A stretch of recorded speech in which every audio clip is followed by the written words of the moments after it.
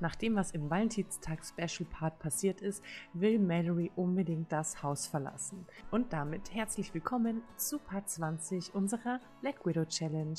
Wie ihr alle mitbekommen habt, ist Mallory im Valentinstags-Special-Part von einem Unbekannten quasi, ich sage mal, betäubt worden und ist dann im Krankenhaus aufgewacht und kann sich jetzt gar nicht mehr wirklich daran erinnern, was genau passiert ist. Also Leute, viel Spaß und schreibt mir mal, wie ihr euren Valentinstag verbracht habt.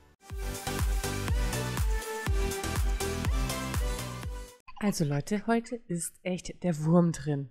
Jetzt habe ich gerade zwei Aufnahmen gemacht. Die erste habe ich gemacht, als Mallory noch im Krankenhaus war. Da habe ich euch erzählt, dass Mario nicht kommen konnte, weil er verhindert war, um sie abzuholen. Das heißt, sie ist total wütend nach Hause. Dann habe ich Mario noch kurz ein Umstyling gegeben, weil die ähm, Sisi-Haare, die er drauf hatte, habe ich rausgelöscht und habe ihm jetzt andere Haare gegeben. Und jetzt gucke ich gerade und jetzt hat es nicht aufgenommen. So, der Punkt ist, dann habe ich auf Aufnahme geklickt und habe das alles nochmal erzählt. Und jetzt fällt mir auf, dass mein Mikro gemutet war. Egal, jetzt glaube ich, müsste alles passen. Also ihr habt jetzt verstanden, was gerade noch so alles passiert ist. Gut, die kleine Maus ist hier am Puppenhaus und hat es zertrümmert, weil sie total Hunger hat. Mario hat eigentlich der Butlerin gerade angeschafft, dass sie Essen kochen soll. Hat sie das zufällig schon gemacht? Ja, super. Das ist doch toll. Dann werden wir die kleinen Mäuse doch jetzt mal hier runterschicken, damit die sich ein Gericht nehmen können. Wie sieht es denn bei ihm aus? Er hat keinen Hunger. Und Mallory ist ins Bett gegangen, gell? Ja, Mallory schläft. Und sie muss aber auf die Toilette. Äh, oh, Moment, Moment, warum? Oh, hier steht übergeben. Dann ist also wieder genau das eingetreten, was ich eigentlich vermeiden wollte. Ich wette mit euch, sie ist jetzt von dem Techtelmechtel mit dem Meerjungfrau-Mann schwanger. Aber jetzt machen wir mal ganz kurz den Test und schauen mal, was uns der sagt. Was denkt ihr, schwanger oder nicht schwanger? Eine Ewigkeit später. Aber es ist ja eigentlich offensichtlich. Also brauchen wir gar nicht reden. Und sie ist schwanger für zwei Essen. Herzlichen Glückwunsch, Mallory erwartet ein Kind. Juhu, also noch ein Kind. Und Mallory ist natürlich jetzt nicht begeistert davon, dass sie schon wieder schwanger ist, denn sie versteht ja immer noch nicht so ganz den Zusammenhang. Also sie hatte ja den Typen getroffen am Strand, der ihr das Getränk gegeben hat und den sie ja überhaupt nicht attraktiv fand. Und nachdem sie es getrunken hat, kam plötzlich ein Meerjungfraumann angeschwommen und äh, hat sie quasi verzaubert. Und dadurch ist es ja auch zum Techtelmechtel mit ihm gekommen. Ähm, und am Ende ist sie im Krankenhaus aufgewacht und sie kann sich das halt irgendwie gar nicht erklären. Oder sie denkt halt, ob sie jetzt vielleicht sich das alles nur eingebildet hat. Aber jetzt, da sie ja weiß, dass sie schwanger ist, kann sie sich ja nicht eingebildet haben. Ich habe zwar schon den Plan, wie ich ihn jetzt in die Geschichte mit einbauen kann, aber wenn ihr eine Idee habt, dann schreibt das auch gerne in die Kommentare und dann gucken wir mal, ob wir das dann mit in die Story einbauen können. Das wäre richtig witzig. Auf jeden Fall haben sich die Mädels jetzt was zu essen genommen. Ja, super. Dann geh du mal aufs Klo und wo bist du denn, mein Schatzi? Du musst auch noch hierher kommen. Ich teleportiere sie jetzt mal kurz hierher, damit sie hier nicht verhungert. Mario pennt, genau.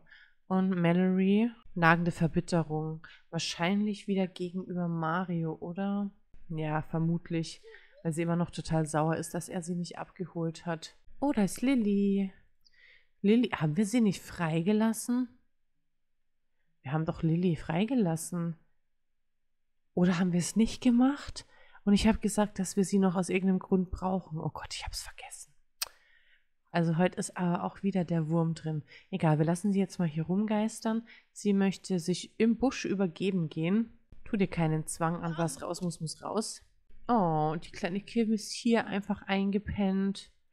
Ja, auf jeden Fall ist es ja so, dass Mallory aktuell keinen neuen Mann hat, den sie um den Finger wickeln muss. Und wir haben ja auch immer noch hier das Bestreben der gemeinen Herzensbrecherin. Ah, ich weiß nicht, das ist ganz schön schwer ähm, zu erreichen, aber wir müssen uns eigentlich auf die Suche, auf die Suche nach einem neuen Partner machen. Ihn haben wir ja kennengelernt. Was, junge Erwachsene? Stimmt, genau, ihn haben wir kennengelernt und haben auch, glaube ich, versucht mit ihm zu flirten, aber ich bin mir nicht mehr sicher, ob es geklappt hat. Vielleicht werden wir uns dann aber auch einfach am nächsten Tag mal auf die Suche begeben und gucken, ob wir irgendjemanden netten kennenlernen. Ähm, ich kann mich auch nur nochmal wiederholen, wenn ihr irgendeinen potenziellen Partner habt, den ihr gerne in dem Let's Play sehen möchtet, dann ladet ihn einfach hoch unter dem Hashtag Lunetra oder Lunetra Black Widow. Eigentlich total wurscht. Ich sehe es ja dann sowieso. Und dann werden wir diesen als neuen potenziellen Partner nehmen. Also ich kümmere mich dann mal kurz um sie und dann sehen wir uns gleich wieder. Was mir auch noch eingefallen ist, prinzipiell zählt Viktor ja eigentlich gar nicht als Partner von ihr, denn wir haben ihn ja nicht geheiratet. Er ist ja einfach nur bei uns eingezogen, aber eben ohne, dass wir ihn geheiratet haben. Also fällt er eigentlich raus. Das heißt, wir haben bis jetzt ja eigentlich nur Mario als Ehemann gehabt. Auf jeden Fall waren wir safe nicht mit Viktor verheiratet. Das heißt, er zählt auch nicht. Sie hat jetzt ausgeschlafen und ist immer noch stinksauer. Du jetzt gehst, stellst du dich jetzt in die Ecke und schämst dich oder was? Geh bitte aufs Klo.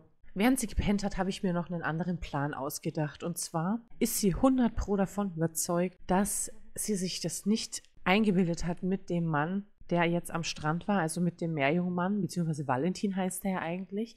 Und deswegen nimmt sie sich jetzt eine Auszeit. Sie möchte auch nicht, dass irgendjemand mitbekommt, dass sie schwanger ist. Erst recht nicht Mario. Und deswegen wird sie jetzt das Haus verlassen und zurück zu ihrer Ursprungswohnung gehen, um dort das Baby quasi zur Welt zu bringen, ohne dass es jemand mitbekommt. Und das werden wir jetzt angehen. Also einmal reisen, Haushalt verlassen und umziehen. Nur sie und sie wird natürlich den höchstmöglichen Betrag mitnehmen, denn es geht ihr ja eigentlich auch nur ums Geld. Aber so ganz herzlos ist sie dann auch nicht. Sie wird jetzt einfach mal 400.000 Euro äh, Simoleons bei Mario lassen, damit er sich um die Kiddies kümmern kann. So, und unser allererstes Zuhause war doch in Evergreen Harbor. Harbor? Harbor? Und zwar hier. Es ist auch immer noch nicht bewohnt, weil sich Mallory das ja als Backup aufgehoben hat. Aber warum ist es denn jetzt nicht möbliert? Das war doch möbliert, als wir, oder haben wir es verkauft, als wir ausgezogen sind? Ach Mist. Egal, dann gehen wir jetzt unmöbliert rein und dann richte ich halt kurz ein. Also so sieht jetzt das leere Grundstück aus. Als wir damals hier mit dir angefangen haben, sah es um einige Male besser aus. Also ich richte kurz ein und dann sehen wir uns gleich wieder. Ja, Leute, da bin ich wieder zurück und ich habe jetzt hier diese Bude total sporadisch eingerichtet. Immerhin soll ja eigentlich auch keiner so erkennen, dass sie da mit dem ganzen Geld jetzt wohnt. Deswegen sieht es auch wirklich richtig schlimm hier drinnen aus. Aber gut, das ähm, wird sich ja auch irgendwann wieder ändern. Sie muss jetzt ganz dringend auf die Toilette. Wenn euch ein Hobby einfällt, was super zu Mallory passen würde, dann schreibt es mir mal in die Kommentare. Sie liest jetzt hier gerade, weil sie Spaß braucht. Was haben wir denn jetzt hier noch? Genau, die Morgenüb äh, Morgenübelkeit. In welchem Trimester ist sie denn? Okay, sie ist noch im ersten Trimester. Dann werden wir mit ihr jetzt noch kurz was essen. Ist doch mal eine Achai Bowl. Und dann gehen wir mal auf Männersuche. Ich habe auch Hunger. Das heißt ja aber im Umkehrschluss auch, vielleicht bekommen wir ja ein Meerjungfrau-Baby. Das wäre auch irgendwie cool. Dann zieh dir doch mal dein Sommeroutfit an und lass uns mal ein bisschen reisen. Vielleicht können wir noch mal nach San Maishuno gehen. Oder wir schnappen uns diesen Louis. Wie heißt er denn? Hier, den da. Oh mein Gott, was die für eine Riesenfamilie haben. Aber der ist gerade aktuell nicht daheim. Wen könnten wir denn noch nehmen? Hier wohnt nur eine Frau. Hier ist das Krankenhaus. Keilsen. Und der wohnt anscheinend alleine. Hm. Kylie Keilsen. Ist der schon immer da drin? Dann reisen wir mal zu Kylie Keilsen. Jetzt müssen wir uns ja eigentlich wieder unser Putzoutfit anziehen und wieder so tun, als wären wir die Putzfrau. Äh, habe ich ihr das weggenommen? Oder nicht. Gucken wir mal schnell Outfit, Outfit ändern. Oh ja, das habe ich ihr tatsächlich weggenommen. Na gut, macht nichts. Dann klopfen wir einfach so an seine Türe. Komm rein. Und er sitzt hier und spielt Schach. Dann werden wir uns mal lustig bei ihm vorstellen. Eigentlich sieht er so jetzt von dem ersten Blick gar nicht schlecht aus, wenn er dann doch ein Umstyling bekommt. Na toll, und sie haben gleich Minus. Nein, das möchte ich nicht. Tratsch. Ähm, Tratsch doch einfach. Mach ihm ein Kompliment. Lüg über deine Karriere.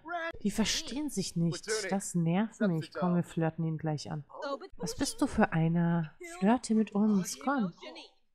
Mög uns. Mög uns? Oh, nicht mal flirten mag er. Okay, also ich glaube, schnelle Wiedergutmachung. Was passiert dann? Ist das Techmechteln? Aber auch auf das hat er keinen Bock. Okay, also ich sehe schon. Ich glaube, er ist eine ziemlich harte Nuss. Aber das schreckt uns nicht ab. Was macht er denn jetzt? Jetzt steht er vorm Spiegel, oder? Ja. Genau, wie, ich, wie gesagt, das schreckt uns nicht ab. Wir werden uns diesen Typen krallen. Und zwar im nächsten Part. Und damit beende ich den Part auch an der Stelle. Das ist übrigens die kleine Kira. Sag mal Hallo, Mausi. Habt ihr das gehört? Süß, oder? Auf jeden Fall beende ich den Part an dieser Stelle. Ich bin mal gespannt, ob wir im nächsten Part den lieben Kyle irgendwie knacken können. Also macht's gut und habt einen schönen Abend. Bye!